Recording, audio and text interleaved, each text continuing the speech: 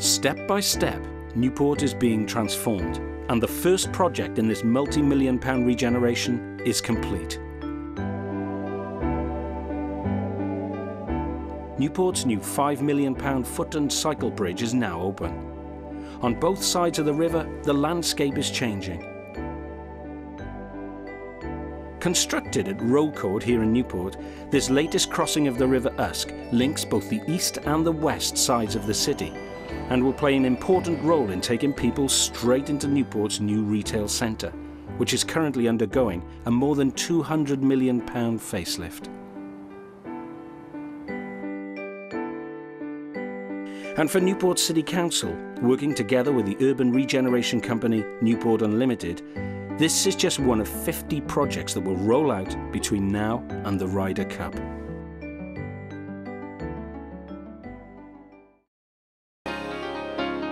In fact, all around the city centre, the regeneration of Newport is clearly well underway, as certain areas such as Kingsway, Queensway and Newport Railway Station are all either finished or nearing completion.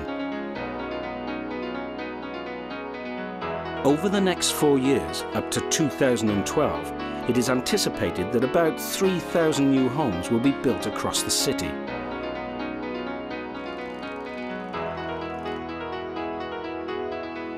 Many of these will be built on the large brownfield sites situated along the banks of the Usk to the east of the city, in a major expansion focused on the redundant part of the Llanwern steelworks, together with land to the north and in the city centre.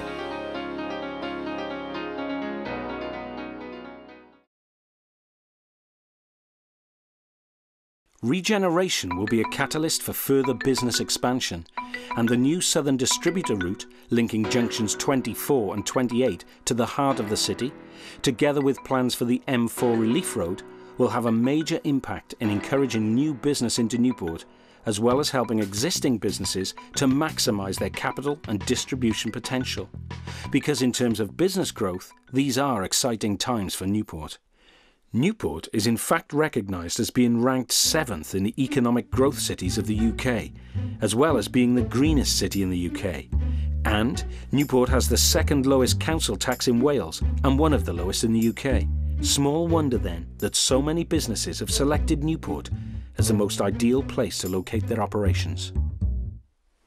Over the two-year period up to 2005, nearly £200 million worth of private sector commercial investment has created almost 3,000 jobs, and the Council's Economic Development Unit handled over 1,500 commercial inquiries over the same two-year period, helping create more than 1,500 jobs, with businesses as diverse as Acorn Recruitment at Cleppa Park to the family-run Gemelli's Desserts in the city centre.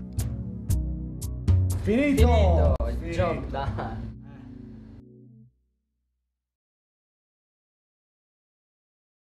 Different high school.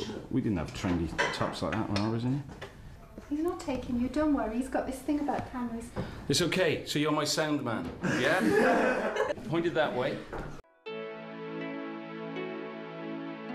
I'm Munira Mizada. I'm from Afghanistan. I I come six uh, months ago. I like my school. I want to be doctor and help people. And I think uh, my teachers will help me in this. Thanks. What they need is a bit of security, these, these children, because they've all been through a bit of trauma in their lives, a lot of trauma actually. I'm Jan Cartwright and I work at Dyffryn High School for GEMS and we support children from other countries whose first language isn't English. I'm Munjahan from Bangladesh. I'm here for one year. I'm reading in Dyffryn High School in year 10. I'm doing my GCSE coursework and it's really nice.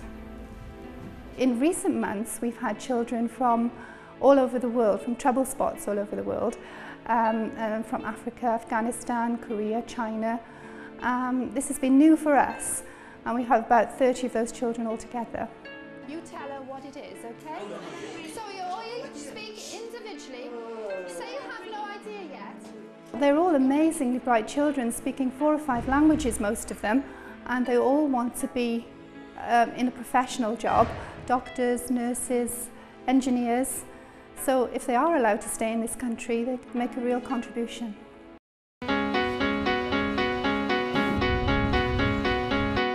Hi, my name is Bethan. I'm a youth worker. I work for Newport Youth Service. We provide informal educational opportunities and activities for young people aged 11 to 25 across the city.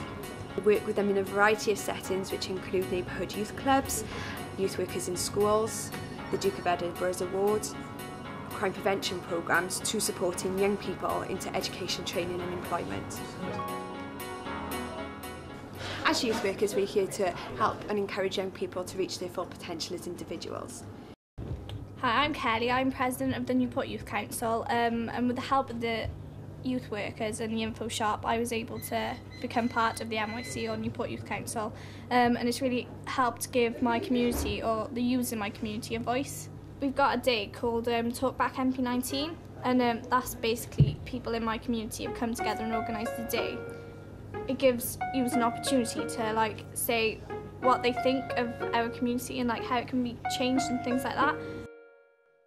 Hi, my name's Farah. I'm Vice President of Newport Youth Council. Um, I'm also a member of the Streets Ahead project. It's based on young Asian girls. It's aimed at young Asian girls, and um, they've taught us how to do things such as sewing skills. We've also learnt how to swim. Um, all the youth workers in the youth service are um, non-judgmental, and they're really empathetic to your situation, so they can help you out regardless of what your background is. If you'd like to find out more information, you can pop along to our information shop.